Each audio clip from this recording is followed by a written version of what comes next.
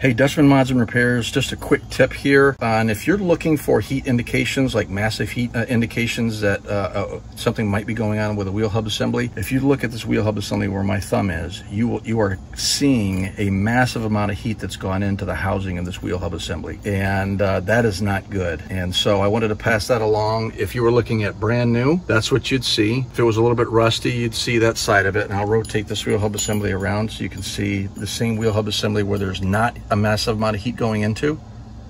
And then I rotate it around and you can clearly see that for whatever reason, the bearings in this area of the wheel hub assembly are on their way out. So I wanted to pass that along as a, as a tip and a pointer. If you're looking for a reference for how something should look, that should help you out.